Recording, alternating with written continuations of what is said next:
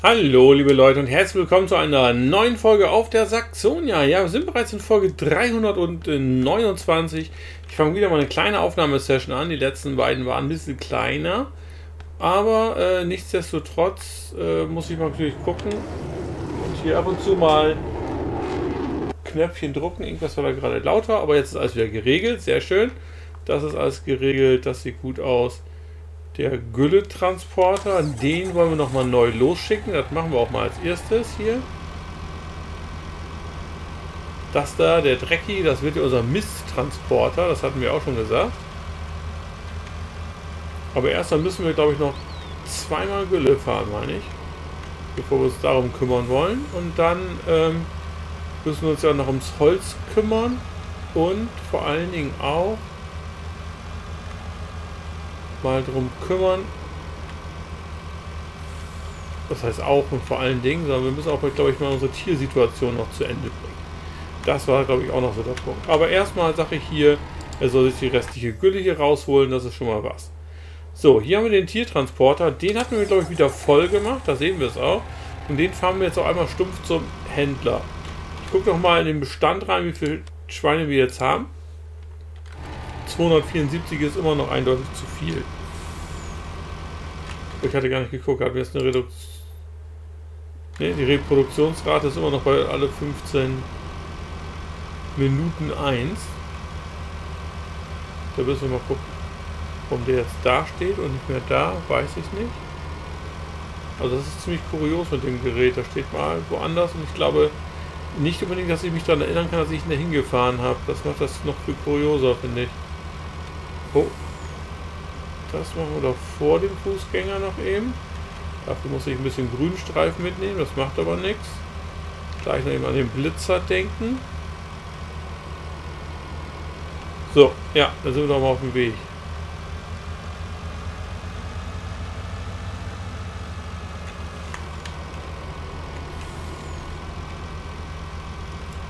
So, gleich mal ein bisschen gebremst, dass ich daneben geht, ne? Nur wollen wir den Spaß mal verticken. So, und da sind wir. Ja, wir hauen das gute Zeug hier raus, die armen Tierchen. Nein, jetzt kommen sie weg zum Tierhändler. Das ist, glaube ich, besser wie die andere Variante, wo wir sie sonst hinbringen. Muss man so auszudrücken, wie es ist. Ähm, ich würde sagen, wir verkaufen jetzt auch noch eine Ladung. Eine hauen wir dann noch durch. So, erstmal bestätigen wir das. Damit sind wir nämlich wieder leer. Da haben wir es auch gesehen. Wir verkaufen jetzt noch mindestens eine Ladung und machen dann noch mindestens eine Ladung fertig, die wir Richtung äh, der anderen Abnahmequelle fahren lassen, sozusagen. Ja, den anderen Abnahmeort. Obwohl ich kann gerade offen bremsen, ich kann gerade offen reden, weil wir haben ja keine Tiere an Bord. So. Gut, ja, dann machen wir den Spaß hier noch eben kurz, die zweite Tour. Und dann schicken wir ihn unterwegs. Wow. Okay, irgendwo war ich da hängen geblieben, würde ich sagen. Nicht schlecht. Ja, ich reiße das zwischendurch immer wieder an, äh, ne, eine andere Karte. Äh, ich äh, wollte das diesmal jetzt hier nicht so nach dem Motto, wir haben jetzt zwei Tage Zeit, um was Neues zu suchen. So ist es nicht. Ne? Ähm, es ist hier noch eine, was zu tun. Äh, wir waren auch noch dabei, dass wir noch ein paar Sachen an, am Angucken waren. Wir wollten noch mal gucken, wie die Popcorn-Geschichte ist und also was hier halt, ne? Und die Bäckerei, das erste Mal Brot verkaufen und sowas, das ist ja alles noch in der Mache alles. Und Brot haben wir dementsprechend auch schon, ne, geladen haben wir es noch nicht, das wissen wir alles sogar noch alles. Und äh, die erste reine Sojamilch äh, oder Soja-Drink-Verkauf steht auch noch aus. Und wir wollten auch noch vielleicht bei anderen Sachen noch mal gucken. Also es ist nicht, dass es nichts hier zu tun mehr gibt. Aber es ist natürlich immer der gleiche Hof, was ihr hier seht. Das kann ich schon eindeutig nachvollziehen. Deswegen natürlich meine Frage, möchtet ihr gerne eine andere Karte sehen? Das ist das, wovon ich ausgehe. Möchtet ihr, dass die Sachen mitgenommen werden? Ähm, ich tippe da diesmal auf Nein, weil wir haben letztes Mal einen Schwung mitgenommen. Ich würde tatsächlich mit einem neuen Fuhrpark mitnehmen und auch tatsächlich versuchen, Sachen zu nehmen, die wir noch nicht benutzt haben. Das ist schon eine von meinen persönlichen Grundvoraussetzungen. Die andere Geschichte ist, ähm, die Idee, ähm, soll es so groß bleiben, soll es größer werden oder soll es vielleicht auch mal kleiner werden? Ich meine, es gibt auch anspruchsvolle kleine Karten, wo man dann echt äh, gucken muss, dass man aus dem Gelände das Bestmögliche rausholt. Auch damit äh, hatte ich, ne, glaube ich, schon mal angerissen. Und wenn es irgendwas ist, was äh, vielleicht nur bis 6 oder bis 3 Meter Arbeitsbreite gehen kann oder sowas, hat mir auch schon sehr viel Spaß gemacht. Im 17. habe ich sowas zum Beispiel ja gemacht gehabt. Äh, wer sich noch erinnert, zum Beispiel an den 3-Stern-Hof. Fand ich zum Beispiel auch eine schöne Geschichte. Diejenigen, die es äh, interessiert oder die gerade noch versuchen zu gucken, ähm, einfach mal bei mir gucken unter den LS17 3-Stern-Hof. Das war auch ein sehr schöner, kleiner, kompakter Hof. Also hat mir auch sehr gut gefallen. Ne? Also sowas in der Richtung mehr. Ne? Und dann, äh, die Frage ist natürlich dann, egal was für Maschinen oder zum Beispiel im Drei-Stern-Hof hatten wir eher äh, auch ältere Geschichten. Ne? Also ich kann mir auch mal vorstellen, da wir da schon ältere hatten, dass man jetzt vielleicht sagt, okay, Alter kann auch ruhig was Neues sein, aber dafür soll es trotzdem klein sein, dass man mehr auf aktuellere kleine Gerätschaften zurückgreifen kann oder so. Also, wie gesagt, auch das könnte spannend sein. Da müsst ihr halt noch mal ein bisschen mal gucken, was ihr denn davon haltet. Ich äh, biege das jetzt hier nicht äh, ne, übers Knie, sondern ich möchte natürlich dann schon so ein bisschen euer Apartment sammeln. Ich habe das ja vor ein paar Wochen schon mal mit angerissen. Ich spreche es zwischendurch immer noch mal wieder an. Ne? Und irgendwann setzen wir dann mal einen Termin, aber das machen wir diesmal alles nicht so erschreckend eilig, wie ich es sonst so gemacht habe. Ne? So, wie viel haben wir jetzt? Ich gucke nochmal. 239. Aber wir müssen unter 200 kommen. Ne? Also jetzt bin ich jetzt... Also ich glaube, es ist noch einmal verkaufen und dann noch einmal zur, äh, ja, zur FIFA-Wertung. So wird es wohl ausgehen. Ja, wie gesagt, also da gibt es so viele spannende Möglichkeiten. Es gibt auch eine ganze Menge Karten. Ihr könnt natürlich gerne mal vorstellen. Also ich könnte mir gut vorstellen, ähm, es ist, also ich sag mal, eine kleine Karte spielt man wahrscheinlich besser wie ich diese hier, weil ich schon mal falsch abgebogen bin. Nein, also eine kleine Karte ist natürlich mal was anderes, spielerisch gesehen. Nein, den will ich nicht umfahren, obwohl es jetzt in den Fingern juckt. Ähm, eine kleine Karte zu spielen ist spielerisch natürlich mal was anderes, weil ihr seht hier natürlich mich äh, sehr oft, äh, ne, ich fahre jetzt halt sieben, acht Mal zu einer größeren Wiese, um sie halt leer zu machen. Wenn ihr sagt, das soll mehr abwechslungsreicher sein und ihr wollt mehr Abwechslung ins Spiel selber haben, dann kann man natürlich auch die verschiedensten Sachen machen mit, ähm, mit einer kleineren Karte. Und äh, wenn es nicht unbedingt eine Karte ist und ich sage, ich habe hier eine super Karte, da ist zwar Platz drauf, aber sind keine Produktionen drauf, das ist kein Abbruch in der ganzen Geschichte. Das heißt, solange es irgendwo auch nur eine Alternativmöglichkeit gibt, um einige Produktionen vielleicht aufzustellen, das wäre super. Einige Modder äh, legen ja dafür extra kleine Plätze an, ne, damit das Rest, der Rest stimmig bleibt. Und äh, würde ich natürlich auch auch mit platzierbaren Mods arbeiten. Das wäre kein Problem.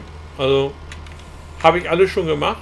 Ne? Wer da ein gutes Beispiel sehen möchte, der kann sich mal, äh, als die Platinum Edition rauskam vom Landwirtschaftssimulator 2017, da kam die Estancia La Pacha mit raus und äh, da habe ich zum Beispiel den kompletten Hofpart, also den hinteren Hofpart, der mehr am Platz war, zu einer richtigen Produktionsstätte umgebaut. Da hatten wir eine Bäckerei, eine Nudelgeschichte und allen möglichen anderen Kram. Also auch da geht einiges, ne? Und äh, platzierbare Sachen und sowas. Und durch Global Company Mod haben wir natürlich einige Möglichkeiten. Ich weiß jetzt nicht genau, was für ein Tag. Also es gibt hier selbst größere Produktionen, die ähm, bis zu 12 oder 13 Sachen herstellen. Die brauchen dann zwar zu guten Platz, aber bis zu 12 oder 13 Sachen produzieren in eins. Ne? Also auch sowas geht. Bisschen auf die Fußgänger Rücksicht nehmen, ne? hat funktioniert. Ne? Also da muss man echt mal gucken. Also da kann man auch einiges mitmachen. Ne? Meine Tendenz ist, äh, dadurch, dass ähm, ich habe zwar die Cornbelt auch gerne gespielt, aber es ist halt immer auch sehr große Flächengeschichte. Ich würde mich dann wahrscheinlich eher mal zu einer kleineren Karte dann hingezogen fühlen, sag ich mal so. Äh, nicht, weil ich weiß, dass ich da auch hunderte von Folgen drauf machen kann. Das ist bei einer kleinen Karte meist nicht so. Ähm, es kommt noch ein bisschen auf die Karte an, aber wenn es eine normale einfache ist sogar nur, dann äh, nicht und die relativ kompakt gut gebaut ist, dann kann man da auch mal 100 oder 200 Folgen drauf machen und dann kann man wieder die Karte wechseln. Man muss ja halt nicht, ne? Man muss ja immer noch gucken, was, was passiert noch, was kommt noch. Ne? Wie gesagt, aber da könnt ihr gerne mal äh, eine Runde schreiben im, im Kommentarbereich.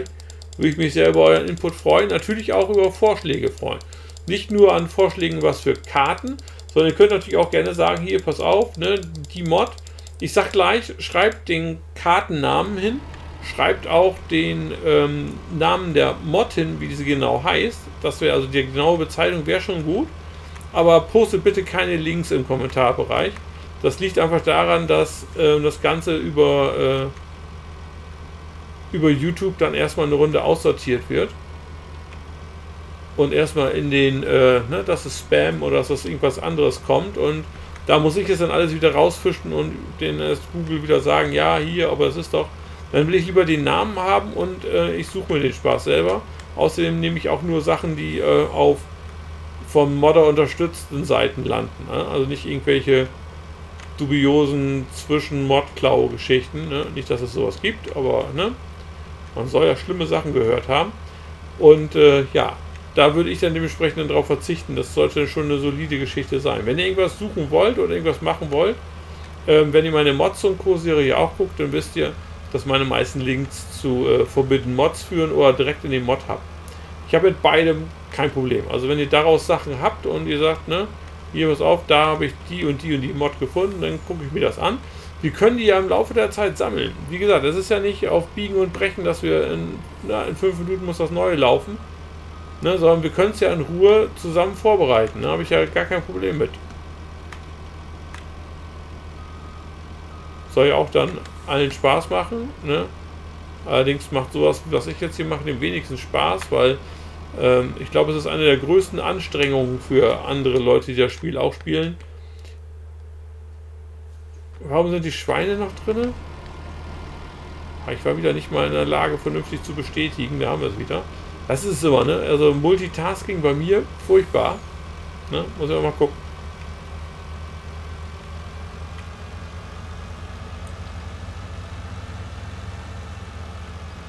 Da muss ich dann mal gucken.